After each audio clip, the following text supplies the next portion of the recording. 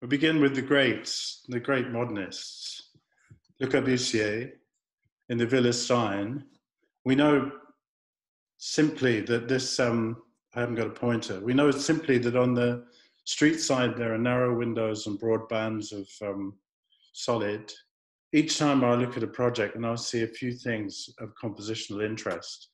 With Corbusier's Villa Stein, um, what is interesting is how the facade is composed. The, it consists, the composition of the facade consists of the shape of the facade itself, the horizontal bands, and the um, projecting balcony in the center at the top. And then the, the ground floor is allowed to do a lot more variable things. Um, on the reverse side, um, the solid and um, fenestration are reversed. Um, so what's happening here is that Corbusier is using a, a rather strict um, compositional idea. And if you look on the reverse, the bottom, the um, ground floor of the building is turned into pilotis. So there's a sort of comparison between the two. And in the Villa La Roche, what I want to show with this um, image is um, the way that uh, Corbusier is able to compose fenestration. And that's a difficult thing. Currently, when we look at buildings, we see a lot of very large areas of glass. And Corbusier was extremely clever at making um, fenestration actually work. The windows opened at the height that they wanted. There was a sense of enclosure through the horizontal. Um, and that's probably most adequately shown in the Maison Clarté in Geneva. But we'll start from the view that we have here. So on the one side, there's a travertine wall with um, beautifully arranged openings, a small window above um, a panel of um, glass bricks, because that's in a, a, duplex, the end duplexes. And then the other apartments are duplexes of a different type. And if we look at the facade here, um, I've been in here. My experience of this building is that that there is a different type of glass in each panel. So below waist height, it's hammered glass and obscured, and then there's a clear glass in the middle at, at high height, body height, which opens, and then higher up, um, glazing, which is just for uh, lighting. and this is a project which um, it, this isn't communicable by images, but when you stand in this building, there's a tremendous sense of um, collectivity in this building, of the way that a group of people look out high up over Geneva. And it's a building which is able, been able to accept wear. And in the base, the, the travertine is, and gives a solidity to the base. And the detailing is rather beautiful. And you find this in Corbusier a lot, that solid is shown on one facade, and then, for example, on the Pavilion Suisse, it's reduced to a band to infill. So there are, I would say, visual and rhetorical gestures here. If we look at um, Aalto's Enso Good, Enso Gutzeit building in 1962 in Helsinki, I think what we see is um, a great modernist able to deal with um, the past. One of the factors of modernism was in some hands, like Hans Meyer, there was an absolute repudiation of what had gone before and a desire to make an abstract architecture for the, the times of, of modernism's occurrence.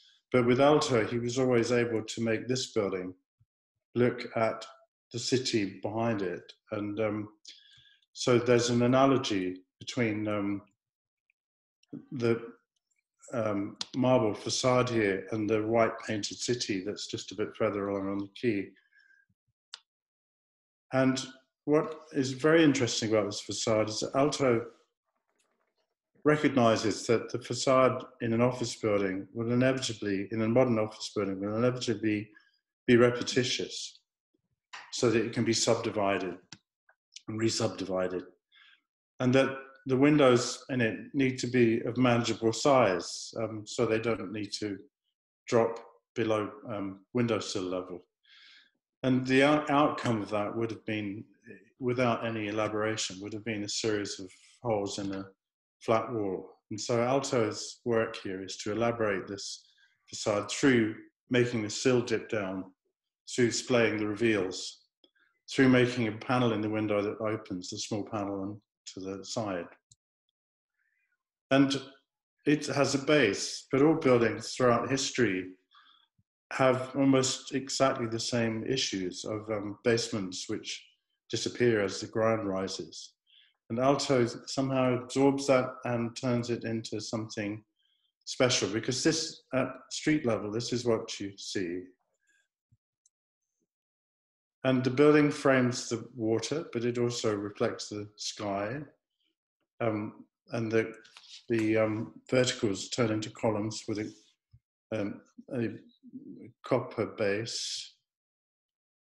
And then on the reverse side, which faces the church, to get the depth of space um, so that daylighting works, there's a big inset. But something else is happening here. There's a, sense of um, the power of ruined buildings here. So Aalto, among the modernists, was the one with, I would say, the most romantic sense. And um, that actually is an aspect of Colin St. John Wilson's writing about what he called the other modernism.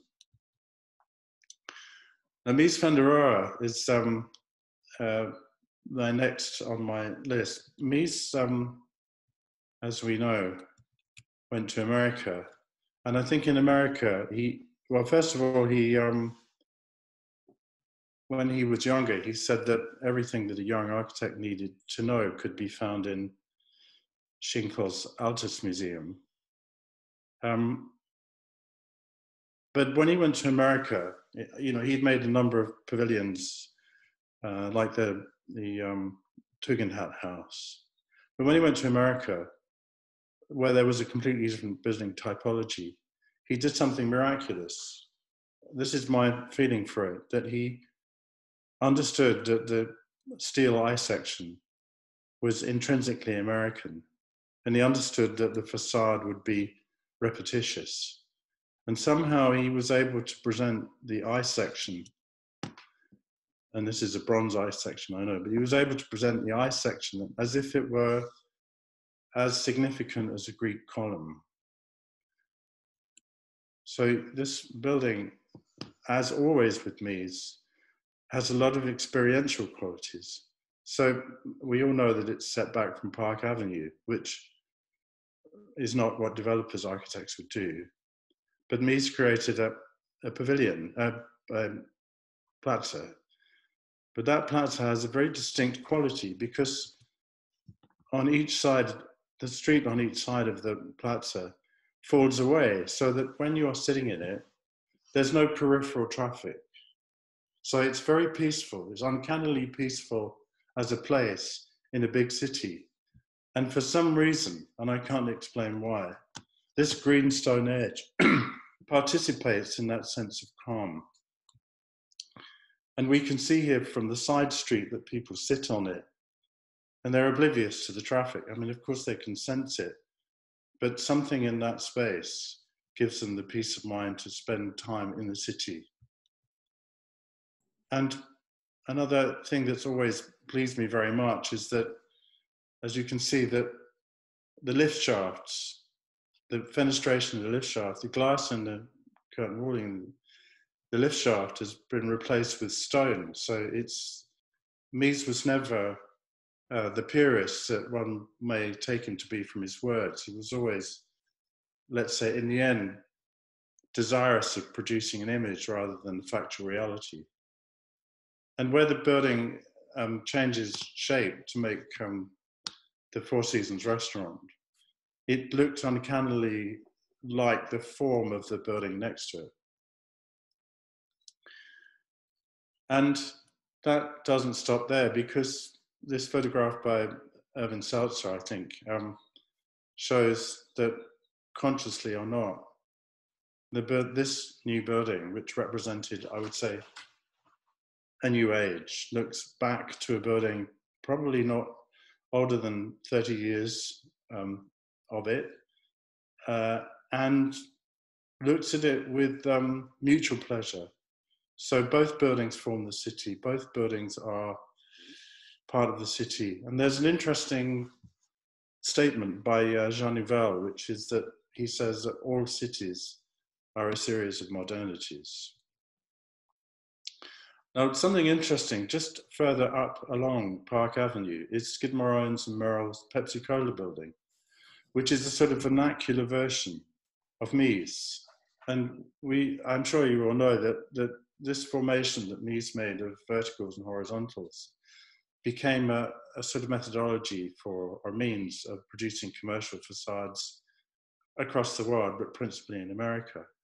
But this is different. What I want to say here is that even in such a reduced palette as Mies is building, different things can be said. So this is much more relaxed. The Mies facade is um, commanding and it allows its density of the fins and the fact that the glass is um, bronze allows it to be seen as a monolith, whereas the Pepsi Cola building projects the life of people in the office into the street. So this is another aspect of facades that with very small changes of intent, different things can be said. Now, I, I want to reintroduce the, or introduce the constructivists because it seems to me that, well, certainly my students have never heard of these people, and they were the parallel movement in Russia to modernism. And modernism, let's say architectural history, has largely been written by Western um, commentators. And it's only recently that work from other parts of Europe, from the former Soviet bloc, is being given credit. And the constructive works were very significant for people like Stirling and Gowan, for example. And later on in this presentation, I'll show some work from the Soviet period to show that too is worth studying. But as I understand it from my friend Alexei Ginzburg, who's the grandson of Moishe Ginzburg, the constructive architect, these buildings were carefully um, uh, proportioned, often with the golden section. But they're also doing something else. If we look at uh, Melnikov's Rusakov Workers' Club, it's an absolutely straightforward statement of function. And this was a short lived period in Soviet architecture which wanted to convey the possibilities of the revolution. And I haven't slides to illustrate the point I'm going to make, but very quickly, um, under the new regime, there was a desire for a socialist realist architecture, which has always been considered by Western um, commentators as being inferior. But if you look at it, as I did when I was in Moscow, first of all, it's beautifully sited. Secondly, it's beautifully made. Thirdly, it's very beautifully um, um, composed. But the real mystery is Melnikov's own house in Moscow, and it's really unclear to anybody how he managed to make this house in the middle of the Soviet regime. And it's as far away as constructivism as you can get because it's actually a sort of mystic has a mystical content. In the bedrooms everybody sleeps in the same room. All the furnishings are very old fashioned it's barely well it's not modernist it's a real sport. But i show it because it's so compelling to me or at least to my generation.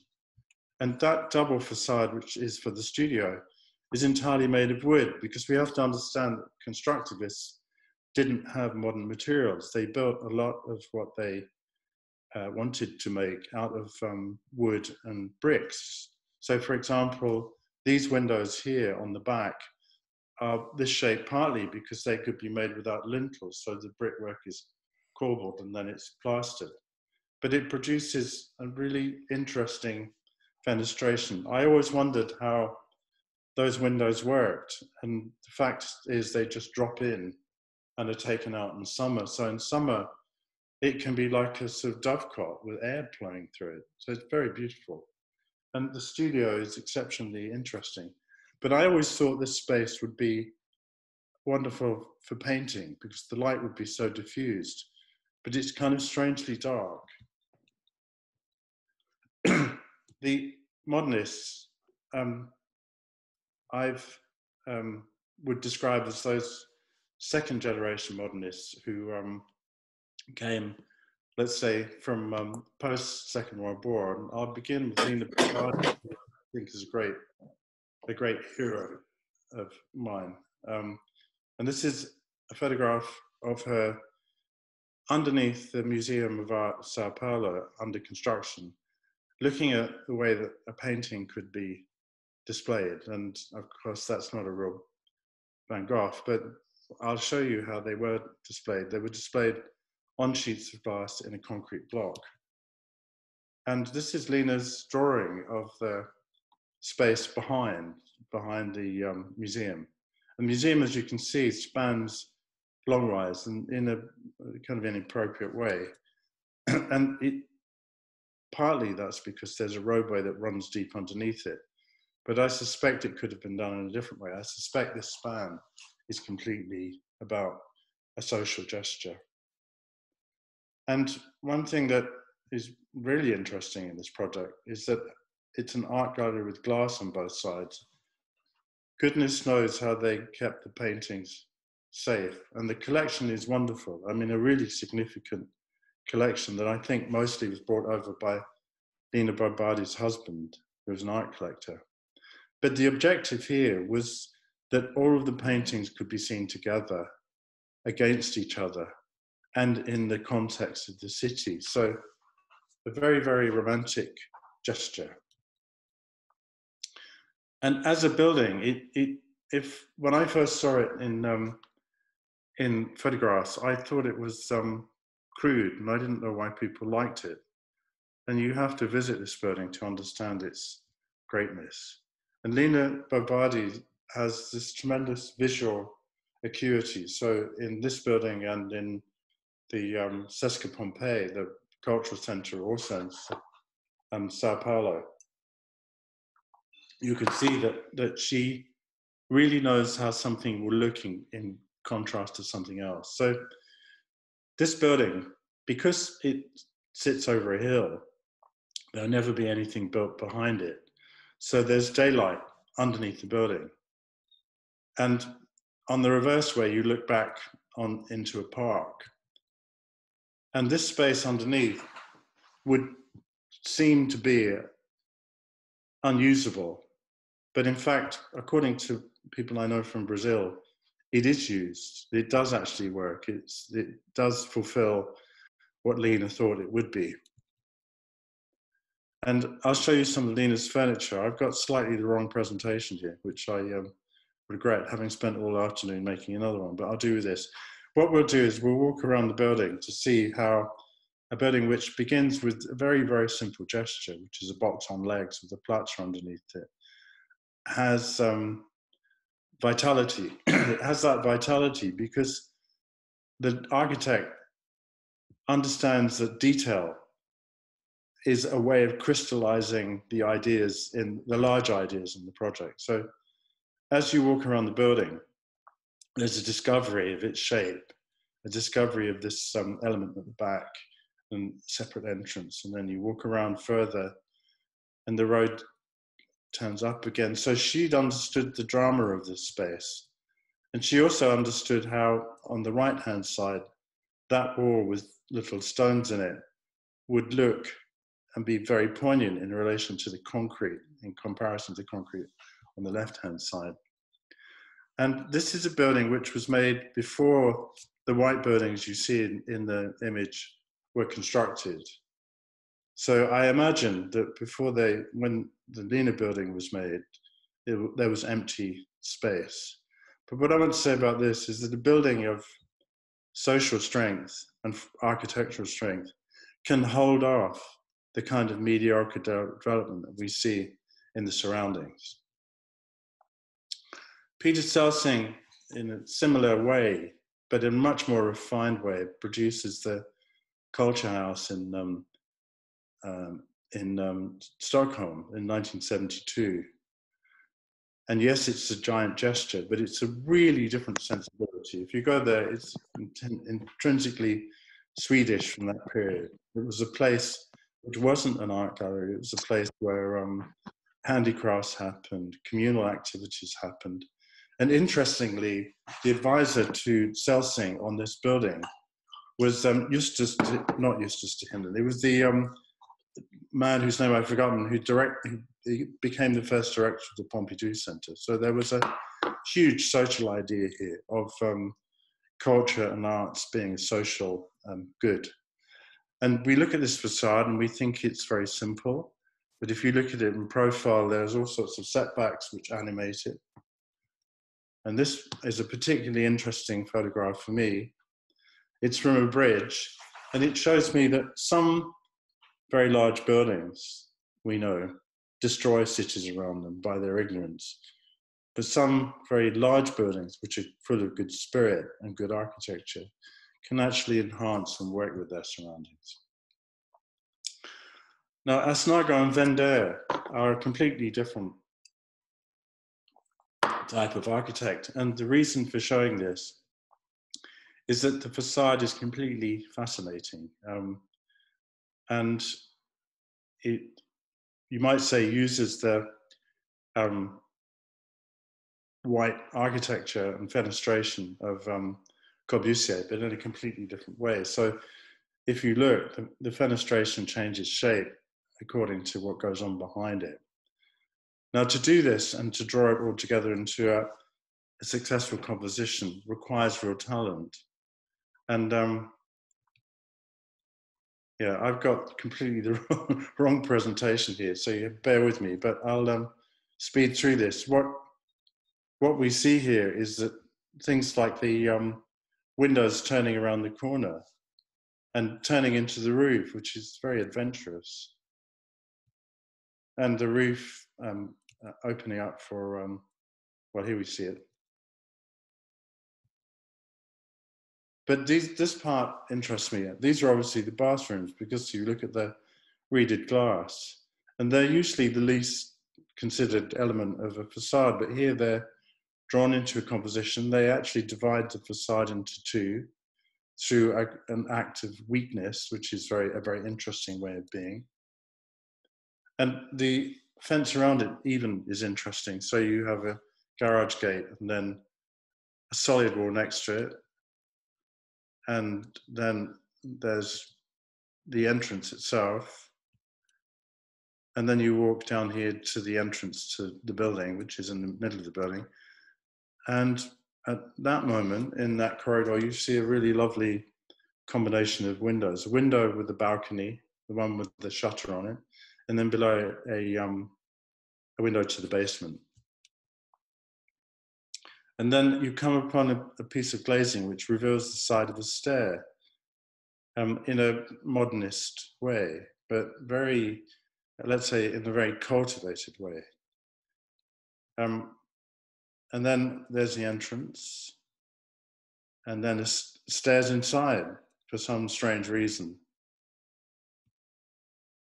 And then we'll go into the back garden. And I, yeah, I've got too many slides here. I'll whip through. What you find at the back is that the facade is very regular at the reverse side, surprisingly so. And it has all these incidents. I think what's happening here with Asnago and Vender is that they make a, a formal proposition, a very loose formal proposition, and then they allow contingencies to happen or they allow contingencies to be expressed architecturally.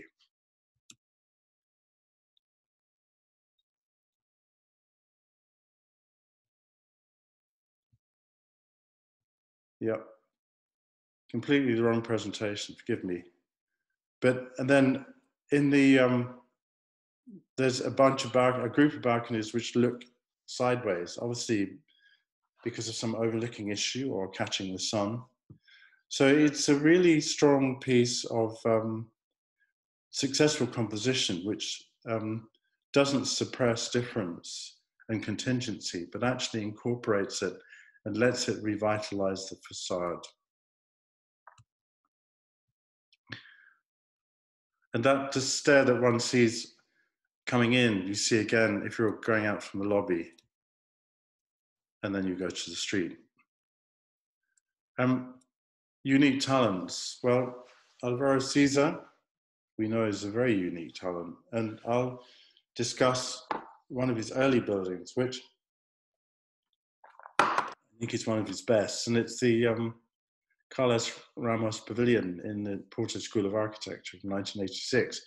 And it's set in the garden of an existing house, which you see here. And that house, the position of that house in the garden, um, is a way, is a, something that Siza uses to um, make the whole of the project. So what we start with, looking back from the pavilion, you look back to the house, and when you come in, you see the house on its corner. And this gives the visual cue for the whole of the project.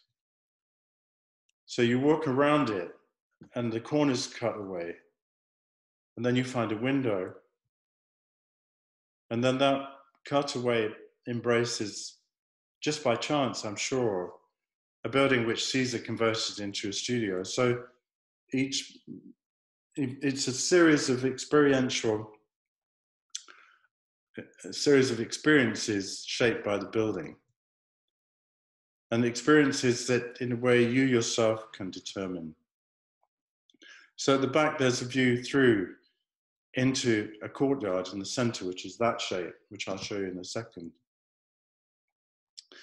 and the studios on the first floor are really i think most wonderful spaces because they look across this courtyard to each other. So each studio has some privacy and sense of um, identity. But they also have companionship through um, being able to see each other across the courtyard. And that courtyard does something strange. It doesn't embrace the view, it compresses it. And why that is, it's a little hard to explain. But actually, when you're in there, it, I think it's about the concentration of those studios and then at a certain point, there's a giant window in one of the studios which looks out right across the Douro Valley to one of the bridges. So architectural students in first year know what they're going to be building in the future of their life.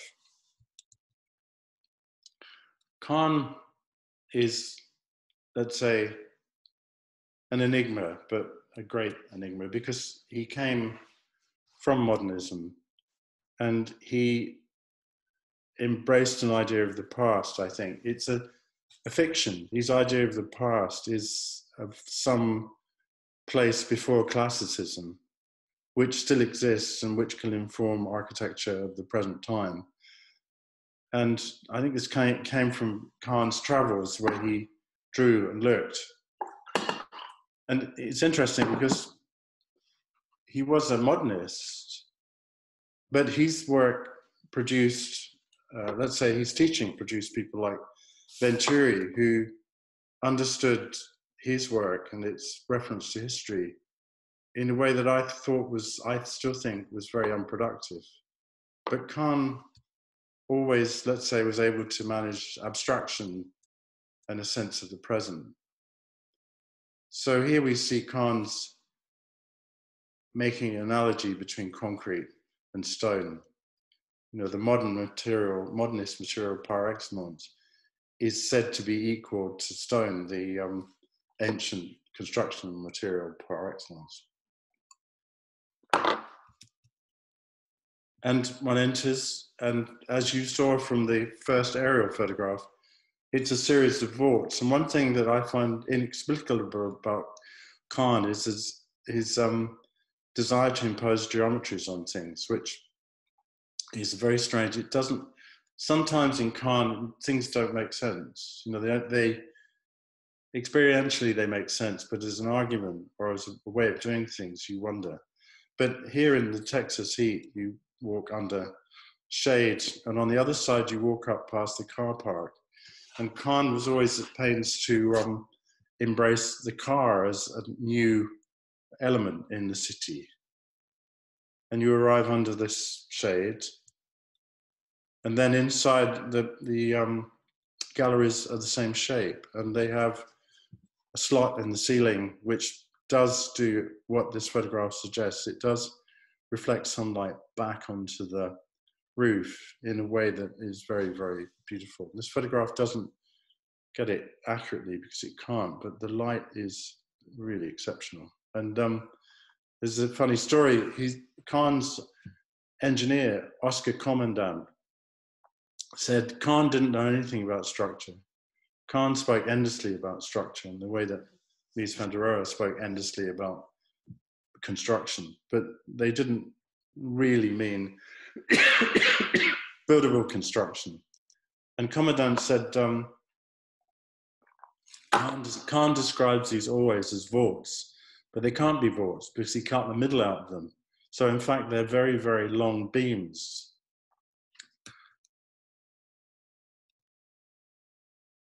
And what's really striking about this building is that, that unlike contemporary gallery spaces, such as I might design, they're very figured. They have beautiful materials in them and changes material in the floor. Um, a paneling system which you can see which hooks into the soffit. And Kahn understood the collection. The collection is very rich. Um, you know, has work like this. And so he understood that a building which in a very measured way was also rich would be the right answer.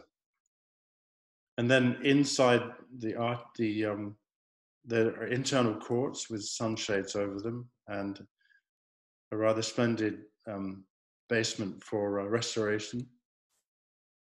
And then the library, which is forced up into the arch, and the lights are very low. And then it looks out perversely onto the back of a, another one of the infield arches. And then the lecture theatre, which is the wrong shape because it's too long and too narrow. But this is the one thing I like so most the handrail made of rolled stainless steel with the end open so that most detailed material like handrails are forgotten. And this doesn't let you forget its materiality. And this will go back to something I said earlier, which is that design, if it's to be any good, has to continue right the way into detail. Nothing should escape the eye of a designer if you want a good building. Individualists. Now, these are architects who I claim have less explicit social awareness.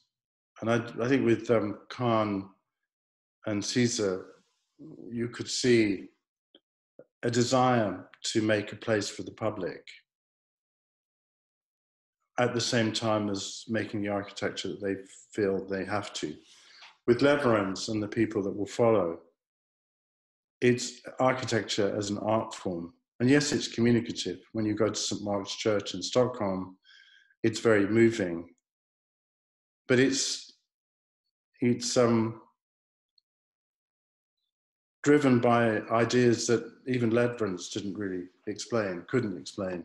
For example, the desire to um, not cut any brick. You probably all know this, but in this building and the next one that I'll show, Lewerentz made a rule that no bricks could be cut, and it means that the that the bonding is different. You know, the perpends don't line up, so it's much more like knitting in a curious kind of way. And in a curious kind of way, it's also similar, although it's not the same, it's metaphorically similar to the, the silver birch trees you see in front of it. And here's what it looks like.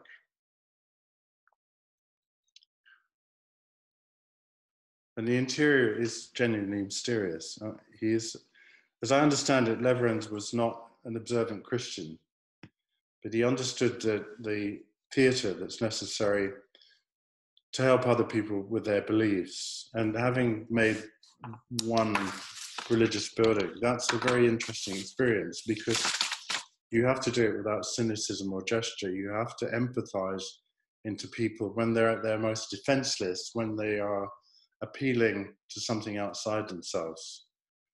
And Lewerentz understood that. So we know this. We know the steel beams in the ceiling with brick arches And we know that the windows are glued on the inside. Lewerentz, you probably all know this, but Lewerentz was um, sacked from the um, Woodland Cemetery project and left and became a, a manufacturer and made windows and uh, metalwork, including including all the metalwork for the um, Stockholm metro, which is being extended into the suburbs. So he knew what he was doing. And this is a double glazed unit that's screwed to the wall and, and pointed with mastic. And it means that you see the view without any uh, frame of interrupting, without any intermediate experience. And this is what you get. Now, Klippan, and I've I've forgot to put the dates in. Klippan is in the south of Sweden in Skåne, and this is really extraordinary because the floors move, and the font is a a shell, and the baptismal water's in the floor. And Lewerentz did this in his later life. I think it was his last project well, it wasn't his last project. I'll tell you his last project in a minute. But um, so you get the font and the floor, and then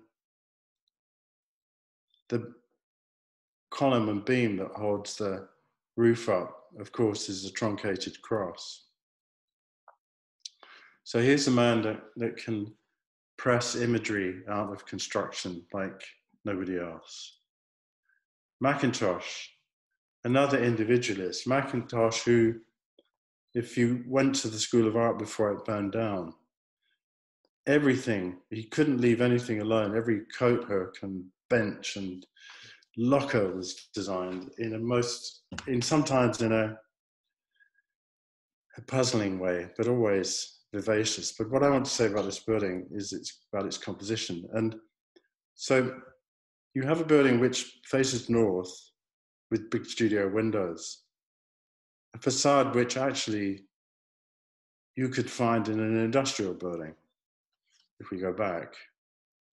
So what happens in the center is that there's a another house, another facade superimposed with a little balcony and a porter's lodge and things like that. So it's, it's sort of odd and miraculous um, event, or it was until it burned down. And then it, of course, it, in each direction, it does something else. This is faces an escarpment. At the back on the right-hand side, there's um, called the Hen Run, which was a connection between um, two parts of the building, which looked out over the city. And Gaudi, who must be the most inexplicable person ever, the Casa Mila, which I understand was when it, was being designed as a speculative development for a, a lady client. And then it became apparent when Gaudi was presenting it to the client that Gaudi, who was um, extremely pious and lived by be- begging, that Gaudi's view was this was just a, a small pedestal for a giant statue of the Virgin Mary and the client said, I'm not having that. At which point Gaudi said, My assistants will do this with this from now on. But what's interesting for me is how this facade uh, mimics the rocks. It's a, you know, it's a, well, it's called the quarry, or it was called the quarry in, in the vernacular. But it's a, a way of making facades which um, isn't from primarily from the language of building, which is mostly where facades come from. And the balcony here is about seaweed. And on the other building, the um, Casa Batlló, the facade is, the balconies look like um, masks for a carnival. So he's, um, let's say his range of um, visual knowledge was very different from most architects. And this one really has to be the cherry on the cake. It's um, Frank Gehry's Chiat Day building in Los Angeles. And I saw Gehry talk about this, and he said that they had made a model of the two sides, the copper one on the right and the white one on the left. And they were having a meeting with a client.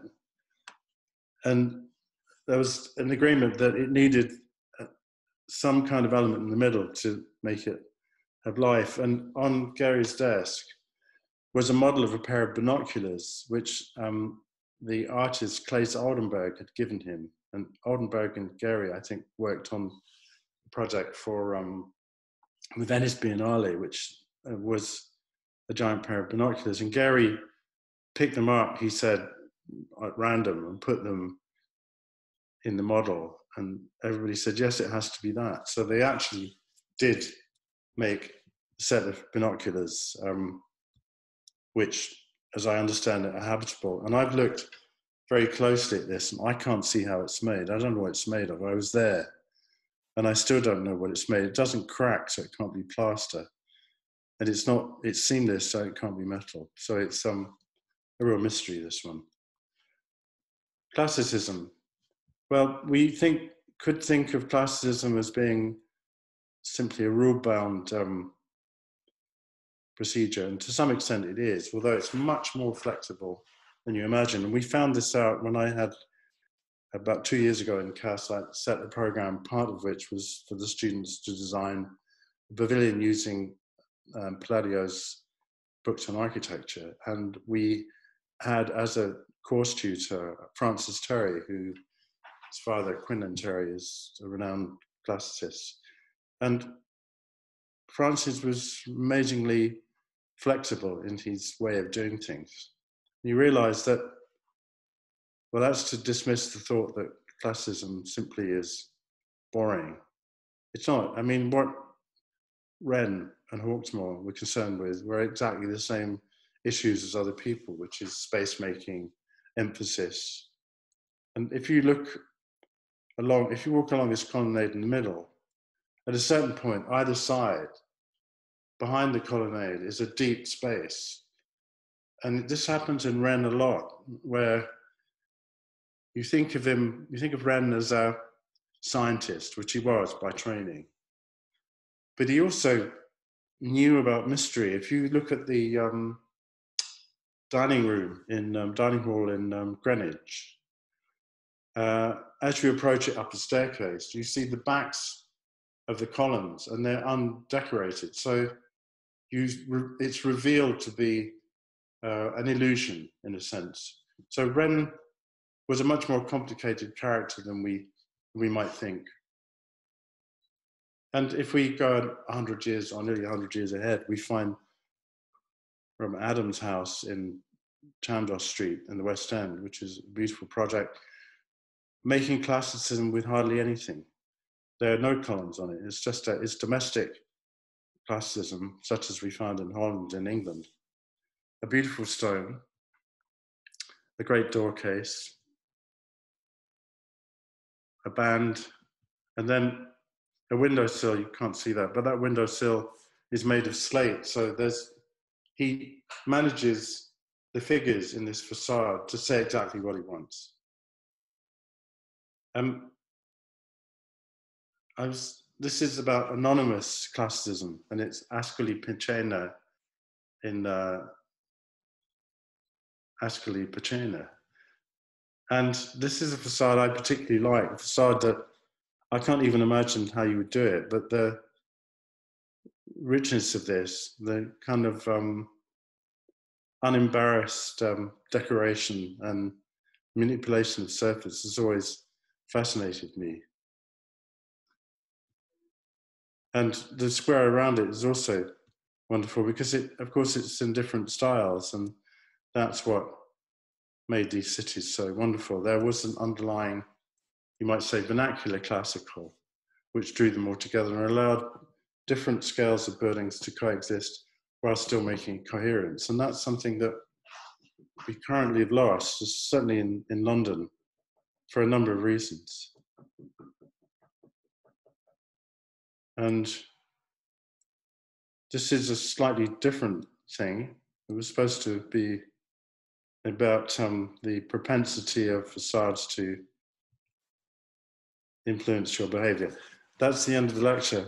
That's the end of the lecture that I didn't intend to give and maybe I'll give the one that I intend to give when I can find it, which I lost this afternoon. So if there are any questions, um, I'll Tony, take them. Tony, that was sensational. I'm, I'm going to unmute everybody so we can hear 500 people clapping all around the world. You,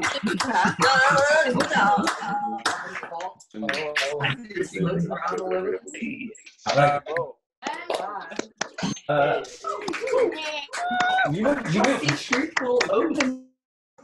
Tony, could you perhaps um, uh, go back to the, to, let's see you rather than the, your screen perhaps?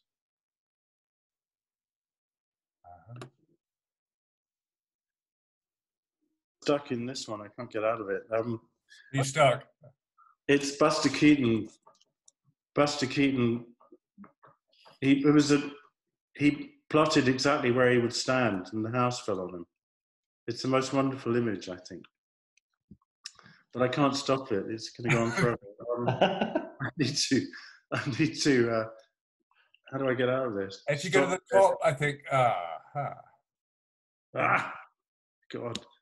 Um, let me try something else. Can you press the share screen button and then you'll, you should, we should see you. Yeah, okay. Let me do that. Um, That's good. Was. like you can see the the. Um, did you want to go to a specific image? Um, well, well, I, I, let, if people have questions, why don't they let us know in the chat box on the right? Um, but maybe if I could just kick off with one, Tony, which is, um, I mean, I mean, what a fantastic talk! Know, you showed a huge sort of, you know, range of of, of different responses to this issue. Um, maybe could I bring a could I bring back uh, um, a link to your work or a question about your work? What you take from the, this kind of range of material? I mean, one of the things that strikes me about your work, whenever you make the cards, is that there is a high level of abstraction at play. Particularly, I think you you shun um, making elevations where construction is very expressive in the way that it might have been for a Lewerentz or, uh, or Gaudi or even you know some of your contemporaries. There's always a sort of interest in um, in sort of yeah, I, I think abstraction is the word. Could, could you kind of um, eh, talk a little about what, what why that impulse sort of informs your work? Can I turn the light on? I can barely see myself. I'm sure everybody else can't see me, but I.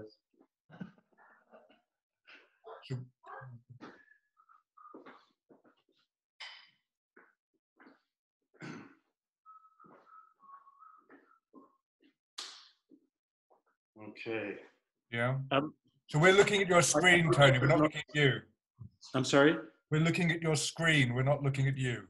Oh, that's interesting. So uh, the answer to that question is I've chosen not to discuss my facades. Yeah.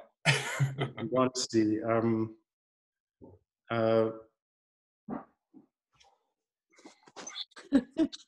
uh, I don't. Okay, let me try to find an answer. So for example, the if we start from the latest project, which would be um, Westkaai, you know the towers in Antwerp yeah.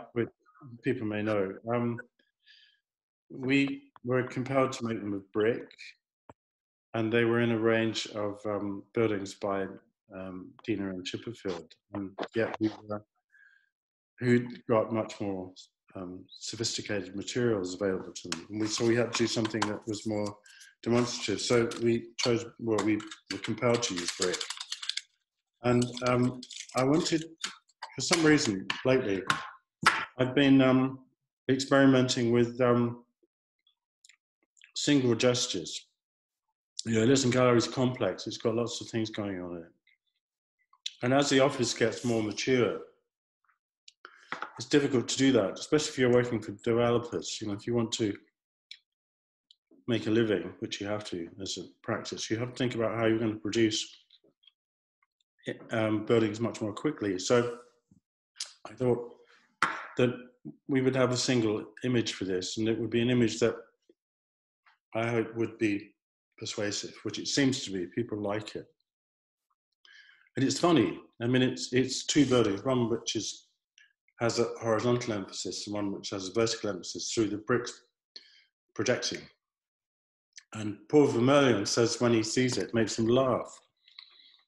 which I think is interesting. You know, how do you make a identity for buildings which are slightly outside uh, the centre of Antwerp in a docks a Docklands area, where you make something which where people know it. People say, "You live in that building with the bricks," and you say, "Yeah, I do."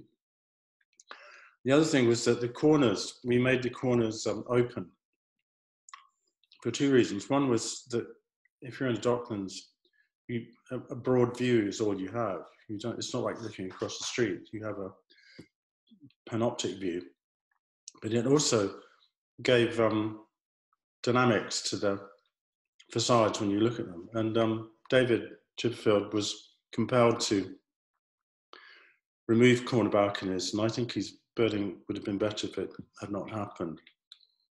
Um, so that's that's what's happening now with the Red House, which is a long time ago now. Every, everything I've done is a long time ago. The Red House um, was a point where I um, instead of making architecture which came from events and uh, materials, I'll explain about the Lisson Gallery in a minute. I wanted to make a building which was about architecture and spe- specifically about all the architecture that I'd loved when I, when looking at palazzi in Italy or um, um, Dutch canal houses. I wanted to make a building which was as um, impressive as any European modernist building, which is, you know, immodest, but that's what I wanted to do. I was also, and have been for a long time, fascinated by the asymmetries that you find in um, Victorian, um, uh, let's say, aesthetic movement buildings, where you get a large window um, next to a um, a series of small windows. Um, and I wanted to use a material, red stone, which was different from the materials of the street, but which had a tonal connection.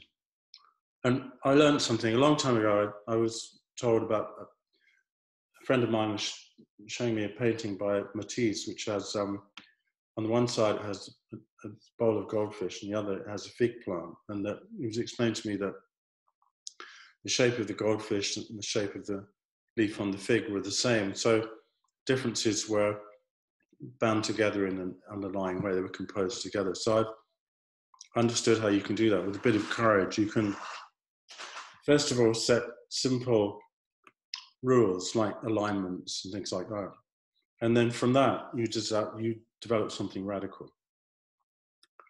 Um, Ellis, um, yeah, brilliant. I mean, uh, we're getting a few questions, and um, i have got someone called Matt's iPhone. I'm not altogether sure who that is, but can I uh, can I turn? Can I stop sharing the screen and just answer the questions? Yeah, go for it. Yeah. yeah.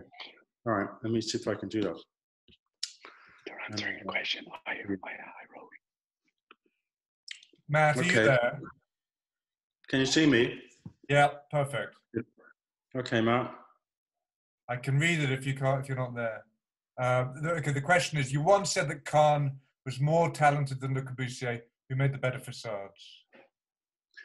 Um, Corbusier was a phenomenal facade maker, and you'll always get something. I always get something from looking at it. Um, I think uh, Kahn was different.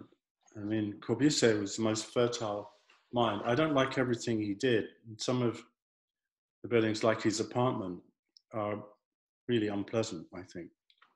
But in the main, you, you can't overrate him as a facade maker. There's always something to learn from him.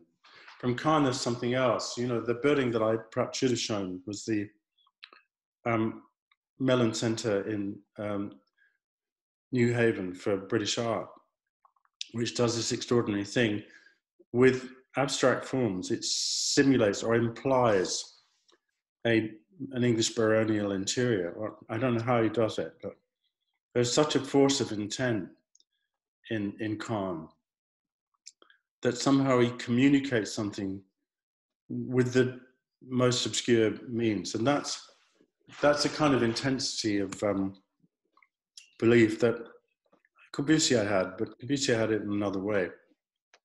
Does that answer your question? Matt's not playing ball. Um, but I um, mean, you just listen to the answer. Oh, God. Uh, oh no, he's might have gone away. Um, Tony, we are at the end of our allotted hour, but um, thank you so much. It was a sensational uh, kind of tour, and um, uh, I'm, I'm getting one more. Qu- oh, now the questions are coming in. Yeah. Uh, can you see the questions? But I've got Right. time. I've got time. I'm not time Okay, pressed. let- let's get. We've got a couple of questions, so let's pitch them in.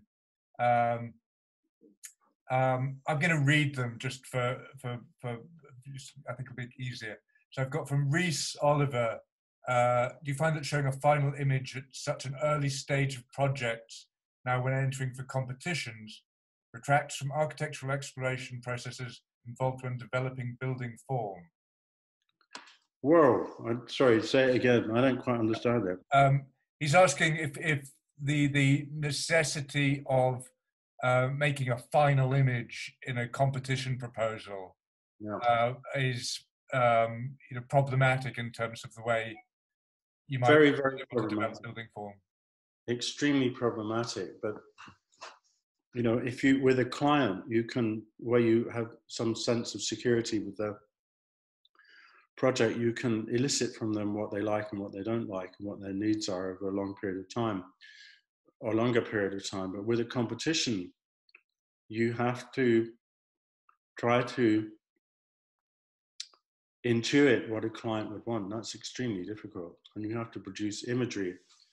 And it, depending on the competition, a lot of competitions now are governed by imagery. You know, the V&A courtyard building was one on imagery rather than usefulness, I think.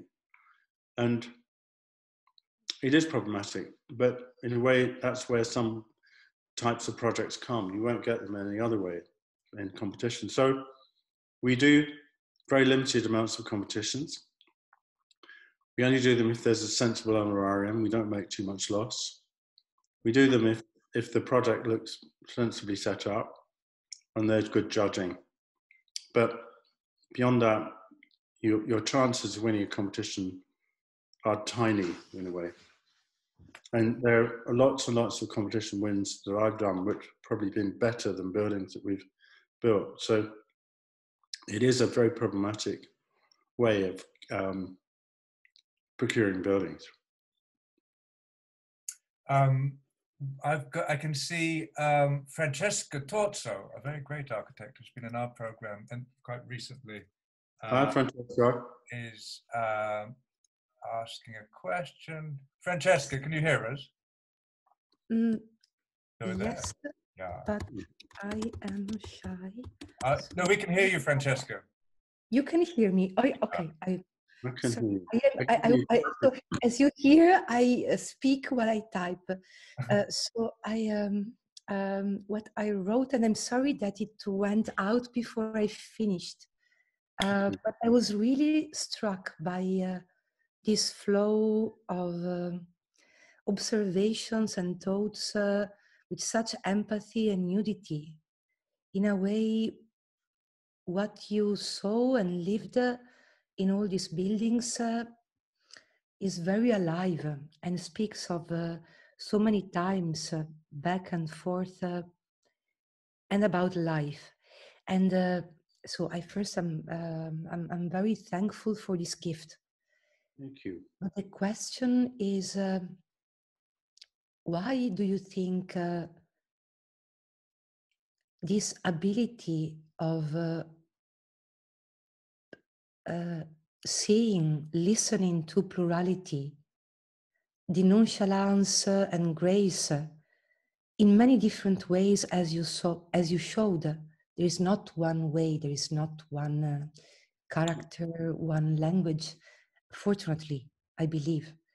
Mhm. Uh, but this uh, reduction or this uh, um,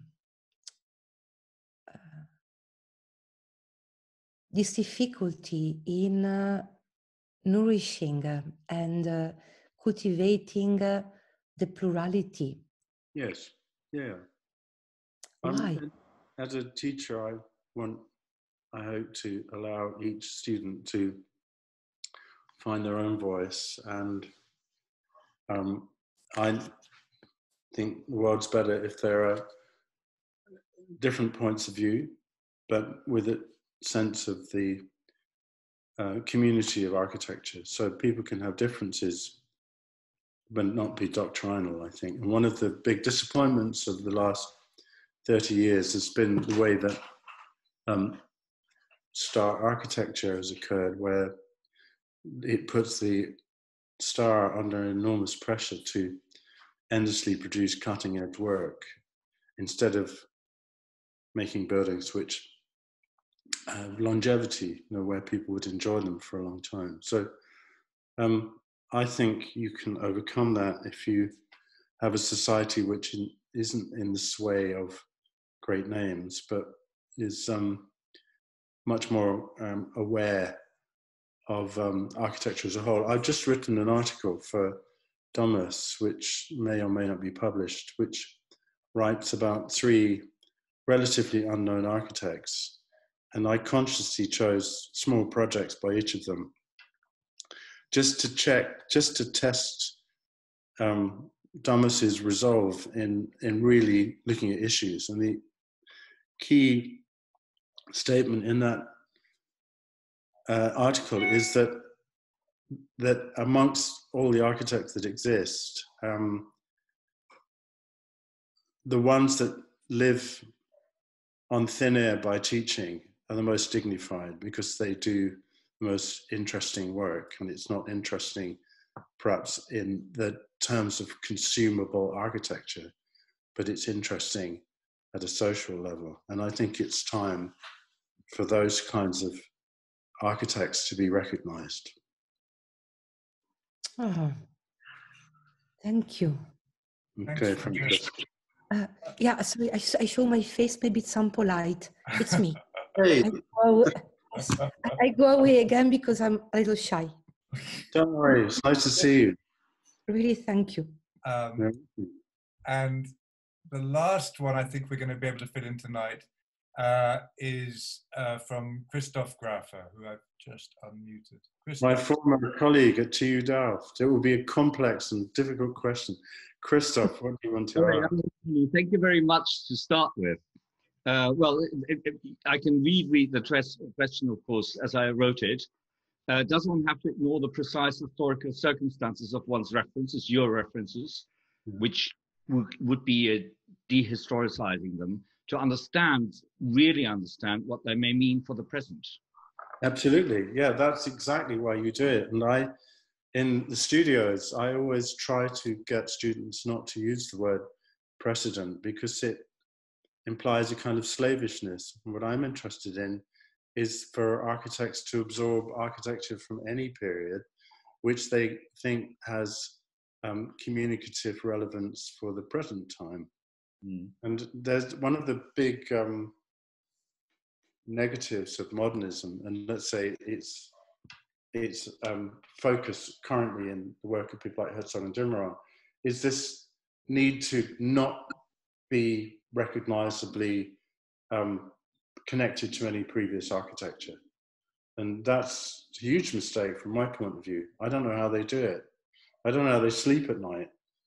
Um, I mean, I think architecture has a past, and and the analogy I make when I talk about the Red House is that um, if we the modernist architecture as we now see it, its obsession with originality, which came, let's say, from modernism's desire that all problems should be solved anew, was only one aspect of modernism. And if you look at painting, music, and literature, um, those other arts or creative practices had a very free relationship with the past. So Stravinsky would write um, the rites of spring using, in his time, the developments of French music, but he would use uh, a, a motif from um, uh, the Russian tradition.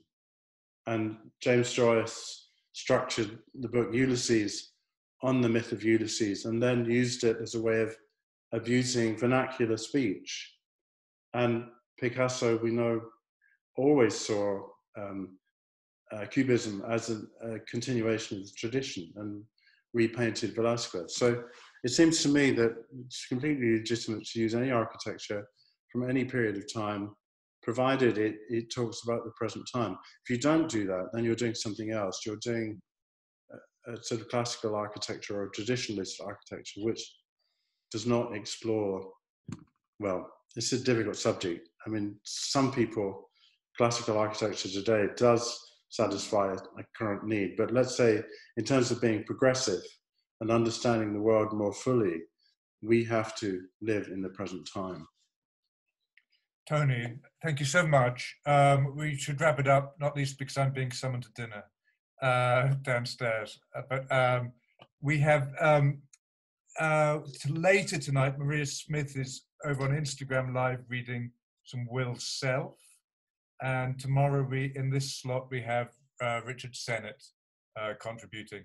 Now, um, this we, we, we've kind of pretty much scheduled up this program for the first four or five weeks but we're really keen that um, to to have kind of uh, proposals for further contributions. We're running till August the 27th, um, and I know that there's lots of people in the audience tonight who um, who would be more than capable of coming up with something fascinating. So please uh, picture some proposals. Um, my email is ellis at architecturefoundation.org.uk.